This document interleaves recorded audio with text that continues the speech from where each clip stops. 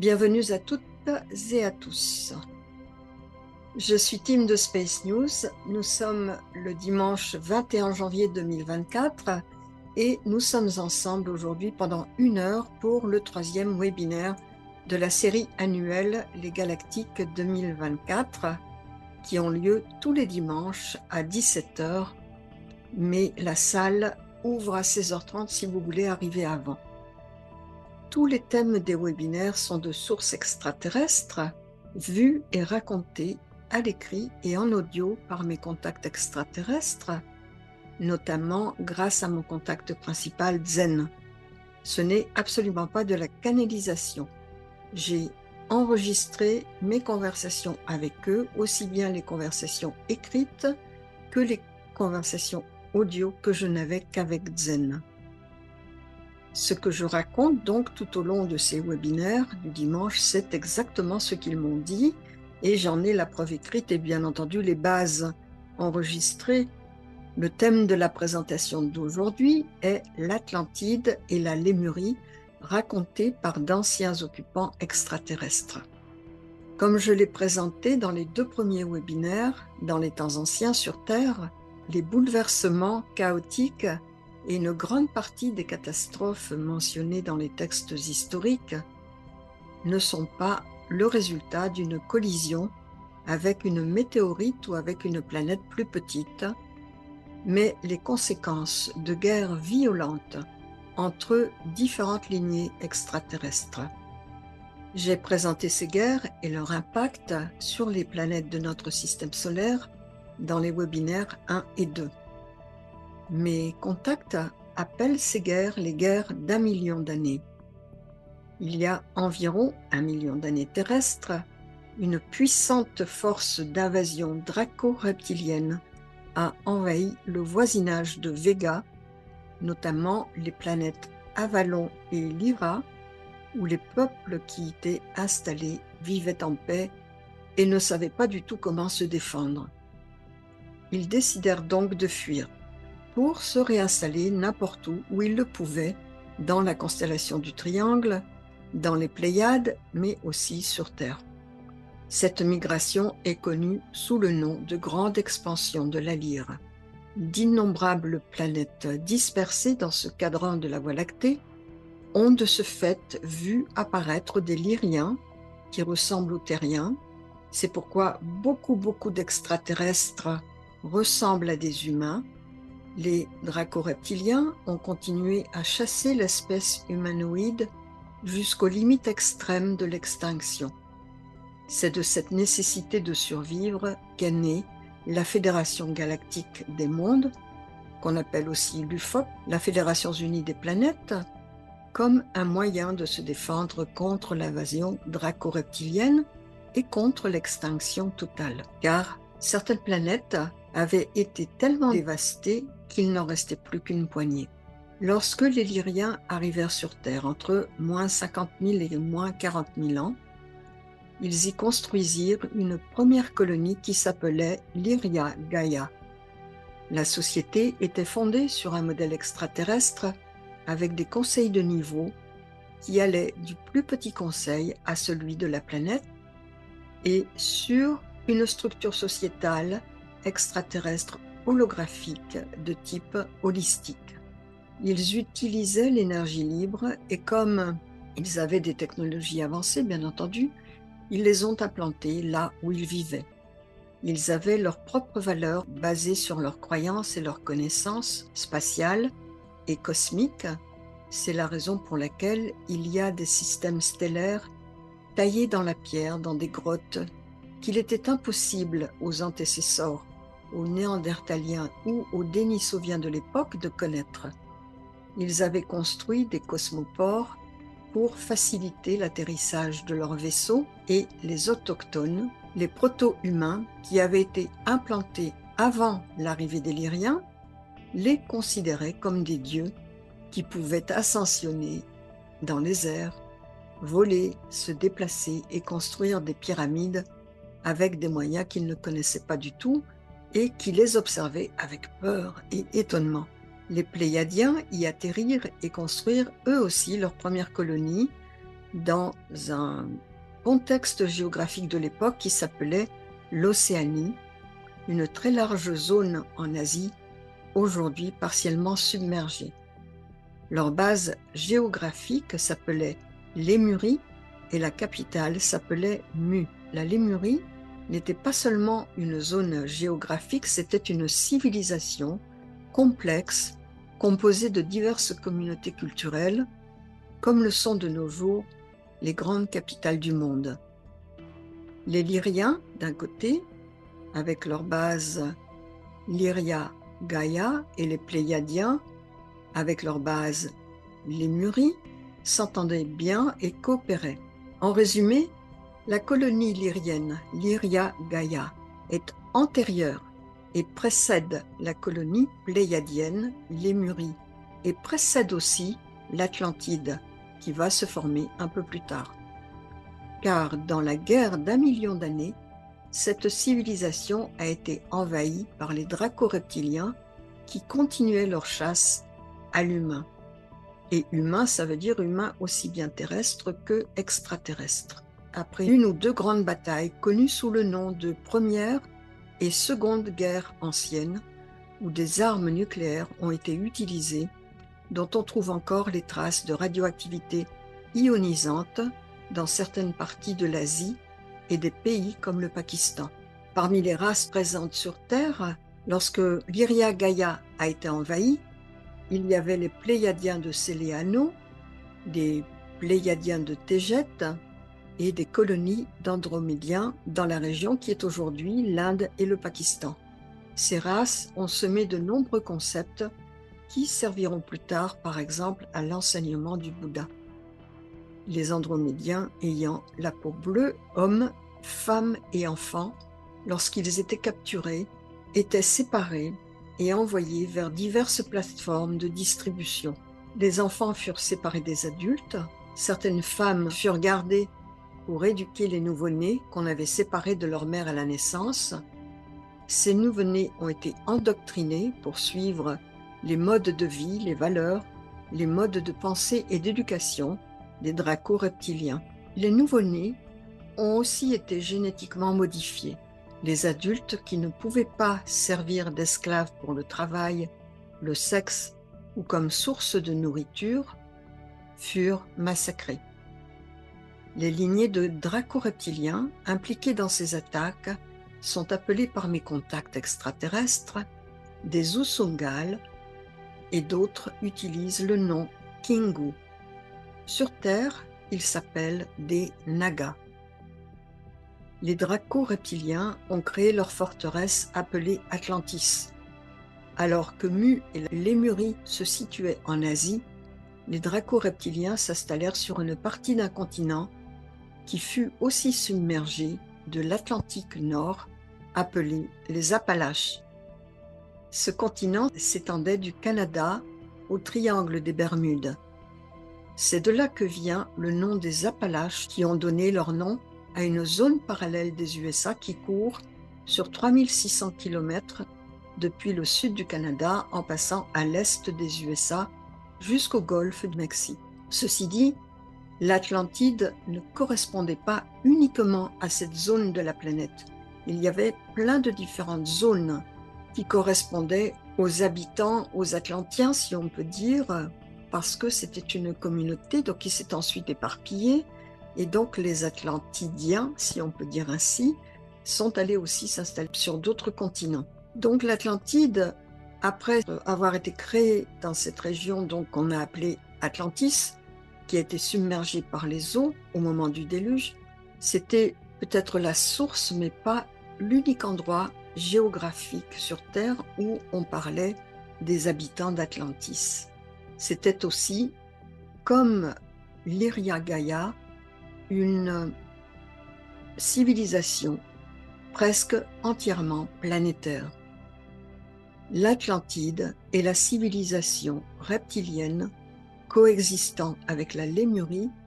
Un certain temps, il y eut des échanges entre la Lémurie et Tiamat, dont j'ai parlé aussi dans mes deux premiers webinaires, les populations d'Atlantis coopéraient avec les colonies de l'Iria Gaia et les colonies de la Lémurie. La seule partie de cette ancienne civilisation planétaire qui continuait à se battre contre les envahisseurs, contre la colonie d'Atlantis, était la Lémurie, donc les Pléiadiens, car elle seule possédait suffisamment de ressources et de moyens de défense pour s'opposer à eux. Les Lyriens et les Pléiadiens qui avaient été capturés sont devenus les esclaves des draco-reptiliens qui les appelèrent les Adams. ADAMS comme Adam. Ils faisaient partie de la génération adamique, comme on dirait de nos jours la génération X. Cela se référait aux Lyriens et aux Pléiadiens capturés et à leurs descendants, car cette phase a duré plusieurs générations, jusque en 12 500 de notre ère.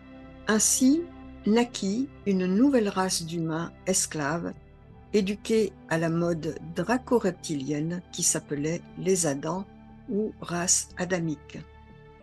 Les draco-reptiliens envahisseurs, en utilisant leur propre ADN pour améliorer un animal, par exemple un crocodile, ont créé une nouvelle lignée de reptiliens qui vit encore de jours dans des bases souterraines et qui sont devenus indigènes, c'est-à-dire que leur planète, c'est la Terre. Cette race de reptiliens terrestres est toujours asservie par leurs maîtres les draco-reptiliens de l'espace. Et ils ont réalisé ceci avant la désintégration de Tiamat et juste avant le déluge, et a continué à vivre sous terre, et ce sont eux qui font toutes les corvées pour les draco-reptiliens suprêmes qui vivent dans l'espace, dans des vaisseaux spatiaux, autour de divers systèmes stellaires de Saturne ou de Jupiter.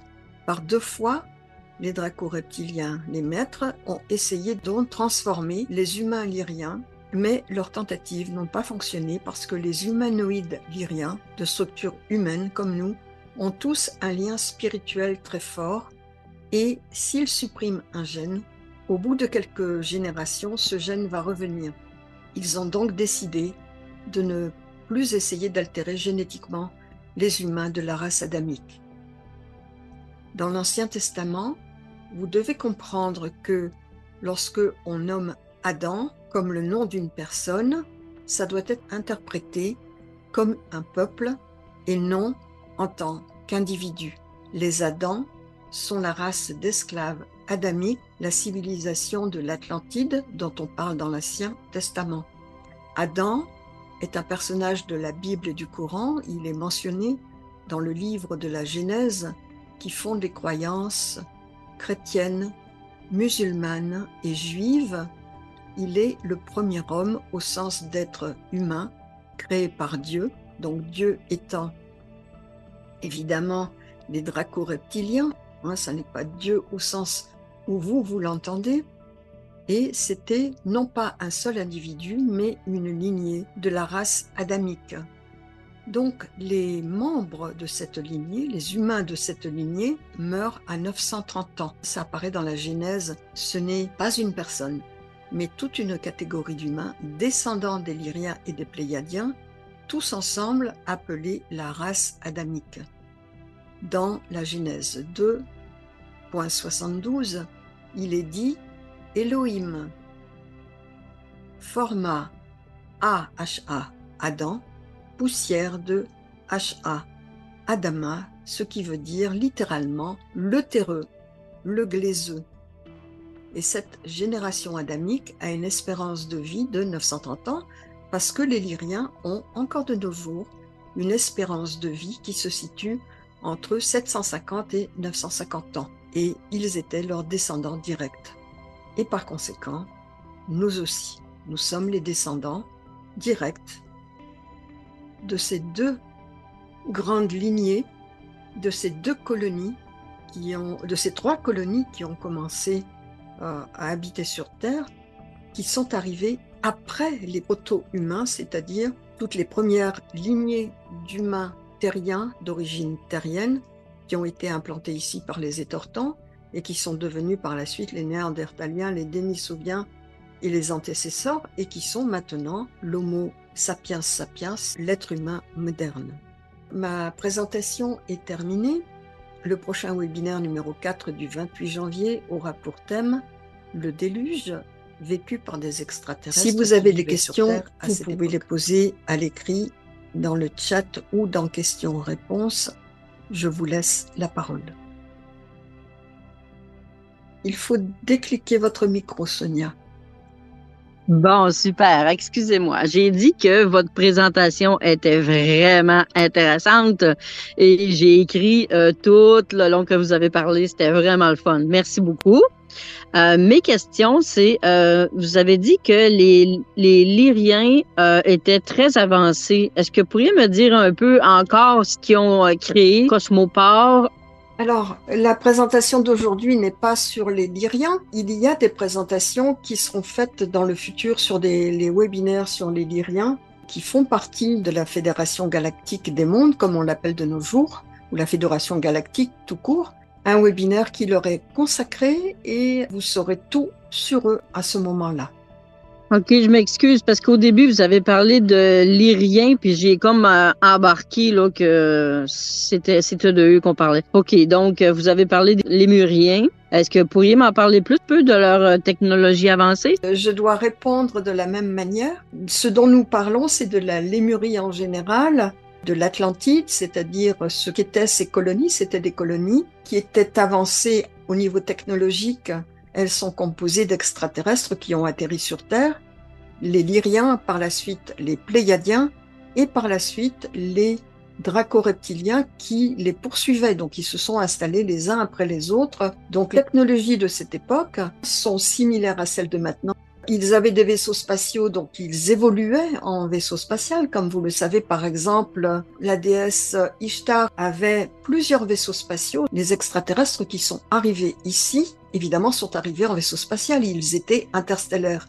Donc, dans leurs vaisseaux spatiaux, il y avait des intelligences artificielles, il y avait des techniques de vol que nous ne connaissons pas encore maintenant, et que je raconte à propos de mes contacts extraterrestres qui avaient déjà à cette époque-là des colonies ici sur Terre. Ils avaient bien entendu des cosmoports, c'est-à-dire des aéroports pour leurs vaisseaux spatiaux. Dans l'atelier numéro 3, je vais en présenter quelques-uns. Muriel, quelle était la vie des Lémuriens au quotidien?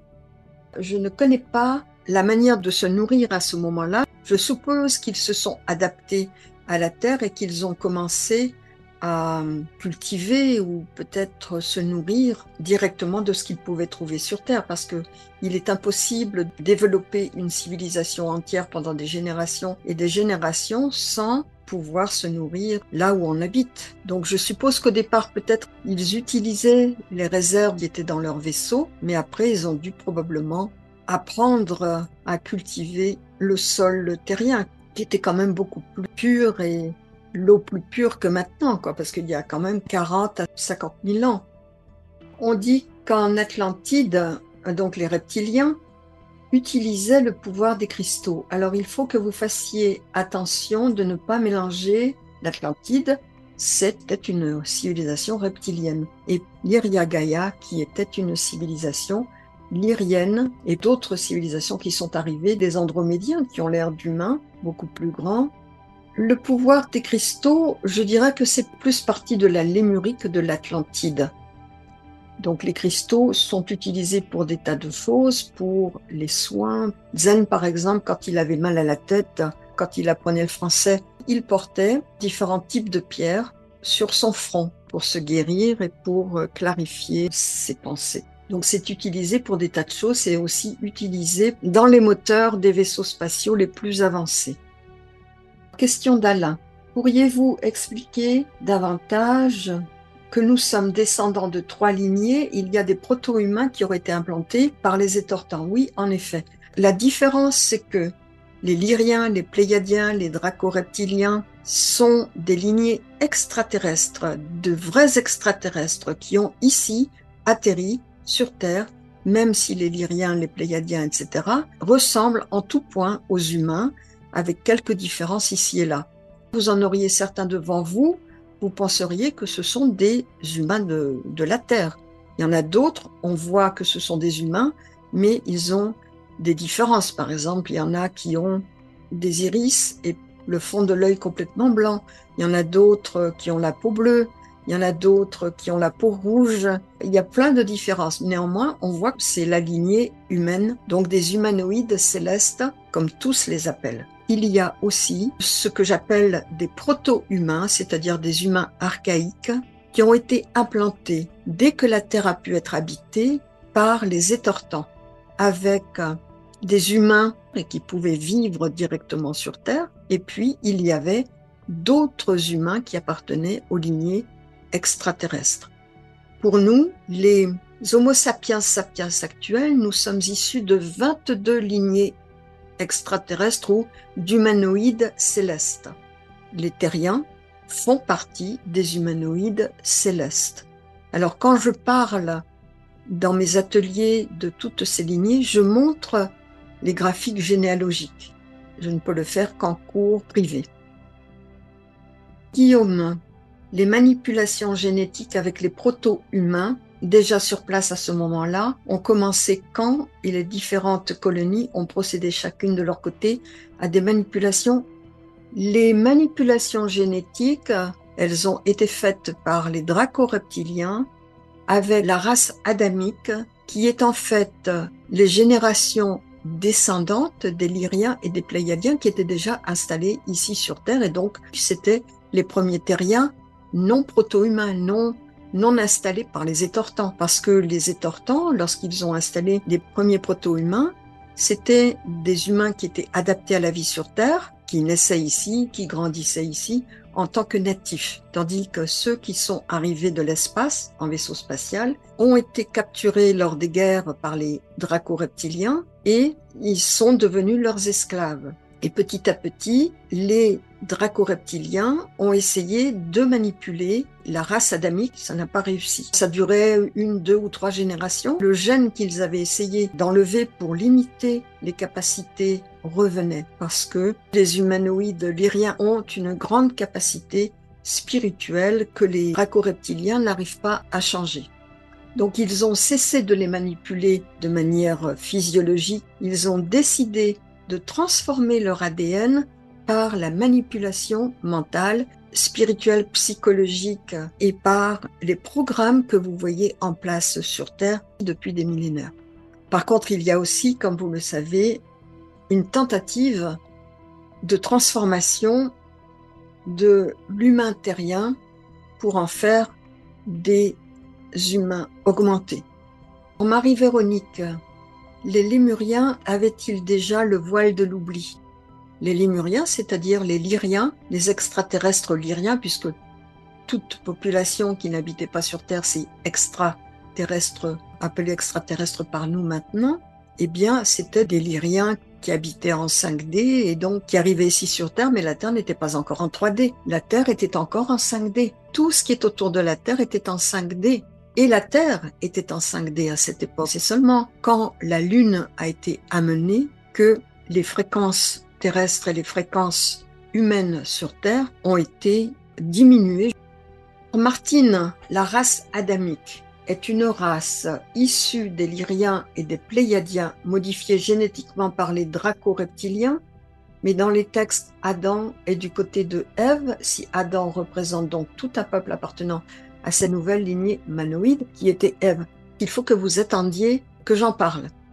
Toute cette nouvelle lignée qui descendaient donc des extraterrestres qui s'étaient installés ici. Ils les ont rééduqués, reprogrammés, remanipulés avec des tas de choses que l'on a encore de nos jours, parce que cette société dans laquelle nous vivons est la directe descendance de ce qui avait été fait à cette époque. Et donc comme la race adamique était encore comme leurs parents et leurs ascendants extrêmement télépathiques, extrêmement clairvoyants, etc., qui avaient des connaissances interstellaires, que ce soit à n'importe quel niveau, au niveau des technologies, au niveau du cosmos, le voyage dans l'espace, etc.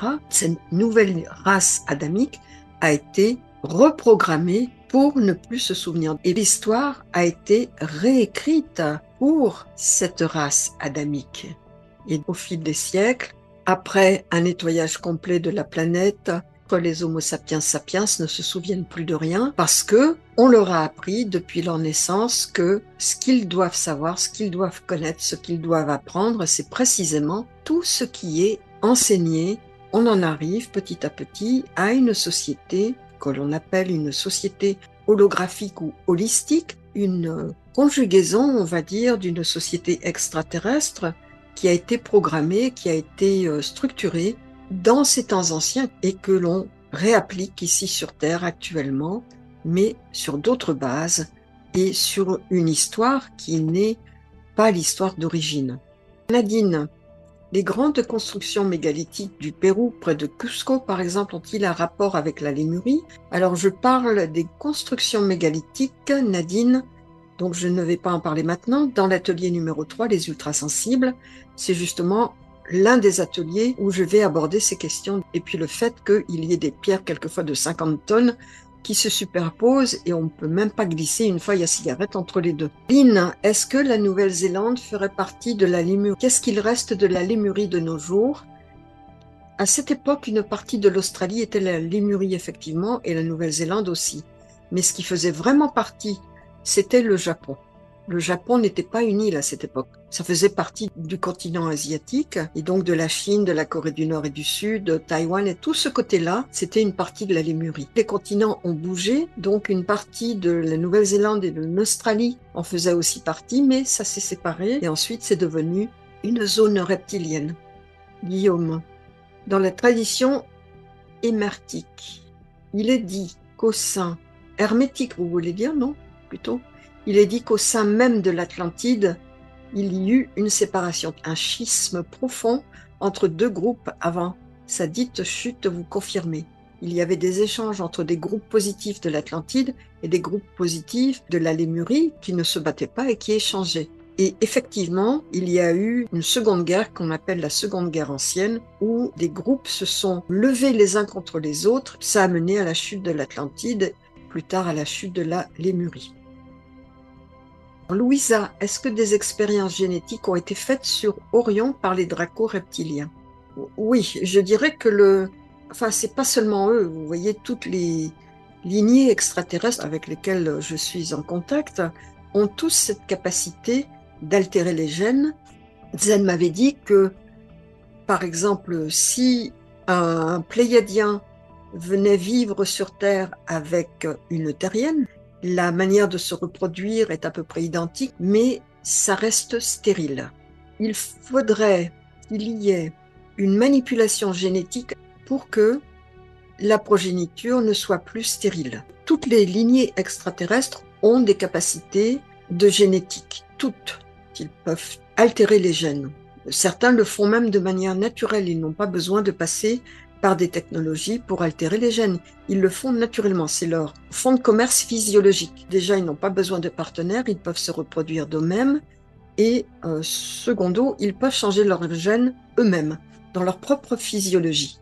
Donc ça, tout ça, je le présenterai dans des webinaires suivants, au moment où on parlera des douze lignées extraterrestres qui avaient un siège au sein de la Fédération galactique. Pour revenir à votre question, Louisa, bien sûr, les draco-reptiliens ont des capacités de transformation génétique que bien sûr ils ont dû en faire sur Orion. C'est l'un de leurs points forts. Par exemple, les étortans sont de la constellation d'Orion. Ils sont d'un système stellaire qui s'appelle Rigel avec Bételgeuse, qui est l'un des plus gros soleils de cette constellation les étortants, ce sont eux qui sont venus ici sur Terre pour implanter l'être humain tel que nous le connaissons. Mais ils avaient à ce moment-là adapté cet être humain à la vie sur Terre, spécifique à notre planète. Donc c'était pas du tout de la manipulation, c'était de l'ensemencement d'une planète pour qu'elle se développe. Carole, d'où viennent les proto-humains? Les proto-humains, non, ils ne viennent pas de la mer, ce sont des extraterrestres appelés les étortants qui sont venus implanter des humains ici sur Terre. D'autres, comme les Arcturiens, ont implanté la faune et la flore. Toutes ces lignées extraterrestres ont toujours un ou deux vaisseaux avec toute la génétique terrestre à l'intérieur du vaisseau. Par exemple, Zen en avait un, d'autres contacts extraterrestres en avaient aussi. Donc il y a toujours une une banque de données de génétique terrienne. Au cas où quelque chose arrivait, on peut immédiatement réimplanter certaines espèces et d'ailleurs on le fait constamment. C'est-à-dire que lors de leurs visites, nombreuses visites ici sur Terre, il y en a eu de très très nombreuses, euh, certaines lignées extraterrestres qui ont la capacité de changer de ligne de temps et qui viennent ici sur Terre même temporairement, vont en profiter pour implémenter, pour réimplanter, pour réensemencer la Terre, soit avec euh, des, races éteintes ou alors pour en implanter de nouvelles. Irina, est-ce que le cochon actuel est une création hybride, un mélange entre humanoïde et cochon sauvage? Entre un humanoïde et un cochon sauvage, c'est-à-dire un sanglier. Et le cochon domestique, je pense que c'est la génétique du sanglier qui a été transformée. Je ne pense pas que ce soit entre humanoïde et cochon. Bien que le cochon ait un ADN proche de celle de l'humain, par exemple, il a été implanté un cœur de cochon. Je ne crois pas que ça, ait fonctionné. Marie-Véronique, les reptiliens ont-ils un lien avec les Anunnaki? Il y a un webinaire sur les Anunnaki, donc merci de patienter jusque-là. Où sont actuellement les draco-reptiliens sur la Terre? Ici sur Terre qu'on appelle les Nagas, les Usungal ou alors les Kingu. Et il y a trois couleurs de Kingu, les blancs, les verts, les rouges. Les blancs, c'est la lignée royale, les rouges, la lignée militaire, et les verts, la lignée qui va être en contact avec euh, les terriens, toutes les élites terriennes avec lesquelles ils travaillent. Et ceux qui ont une queue, ce sont ceux qui restent uniquement dans les bases souterraines. Et ceux qui n'en ont pas, ce sont ceux qui font les intermédiaires entre les races extraterrestres souterraines et les humains, les élites notamment sur Terre. Carole est-ce qu'on essaie encore aujourd'hui de changer la race pour l'améliorer? Absolument, oui. Venez dans les ultrasensibles si vous voulez savoir cela. Michael, donc le voile de l'oubli est lié au champ électromagnétique autour de la Terre Oui. La conséquence, eh bien, c'est que toutes les fréquences sont abaissées. Il faut que vous regardiez ma vidéo sur la Lune, que vous lisiez mon livre artificiel. Il faut d'abord lire le livre parce que je ne parle pas de toutes les choses sensibles dans mon livre. Ensuite, vous regardez la vidéo numéro 2 sur la Lune. Là, vous avez beaucoup plus d'informations. Et si vous venez dans les ateliers numéro 3, on pourra aborder ce genre de questions beaucoup plus subtilement, on va dire. Irina, ce mélange pour créer la race adamique était les descendants naturels des Lyriens, puis par la suite des Pléiadiens, qui avaient été capturés.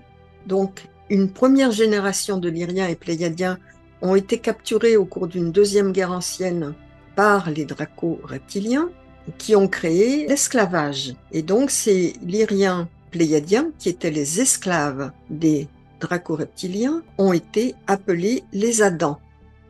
Alors, toutes ces générations étaient au départ, donc les grands-parents, les arrière-grands-parents, les arrière-arrière-grands-parents, etc., les premiers Lyriens et Pléiadiens qui étaient ici dans leur euh, colonie euh, Lyria Gaia et puis les Muris, toute cette lignée d'humains qui est descendante des Lyriens des Pléiadiens ont tous été appelés la race adamique, les Adams, qui voulait dire les glaiseux, les terreux, comme on dit encore de nos jours. Donc c'était au temps chronologique terrestre, entre 50 000 ans et 12 500 ans.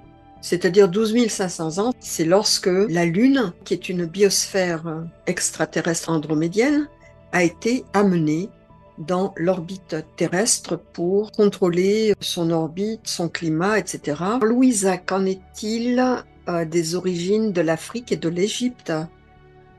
Les continents n'étaient pas positionnés comme ils le sont maintenant parce qu'ils ont bougé avec le mouvement des plaques tectoniques. Donc il y a des parties de l'Afrique qui étaient collées aux USA et puis au Mexique, etc. De l'autre côté, l'Australie, la Nouvelle-Zélande qui étaient collées à la Mongolie, au Japon, parce que les, plaques tectoniques ont bougé. Au départ, ça ne faisait qu'un seul continent qui s'est séparé petit à petit. Donc ça a entraîné aussi en même temps le déplacement des colonies. Louisa, et ce sera la dernière question, est-ce que les étoiles que nous pensons être comme telles sont des vaisseaux placés en orbite et non des étoiles comme cela nous a été enseigné. Ce sont les deux, Louisa. Il y en a qui sont vraiment des constellations qui sont composées de soleils, c'est-à-dire des étoiles qui forment les constellations, quand elles sont toujours placées au même endroit, ce sont des soleils. Et il y a aussi des vaisseaux spatiaux qui sont si grands, si illuminés de l'intérieur, avec plein de lumière partout, que on croit que ce sont des étoiles, des soleils. Mais ce sont des vaisseaux. Voilà, j'ai terminé cette présentation et de répondre à vos questions. Merci beaucoup pour votre présence ce soir, vos questions très intéressantes. Et nous nous reverrons le 28 janvier pour le prochain webinaire numéro 4 dont la thématique sera le déluge. Et vous verrez que ce que vous avez appris pendant les trois premiers webinaires va rejoindre ce webinaire. Tous les webinaires s'enclenchent les uns avec les autres, un peu comme des morceaux de puzzle. Et vous verrez qu'à la fin de l'année, après le 52e webinaire, le paysage cosmique et l'histoire de la Terre seront tout à fait bien concrets. Je vous souhaite une bonne soirée. Voilà, j'espère vous voir très nombreuses et nombreux à ces webinaires. En attendant, portez-vous bien.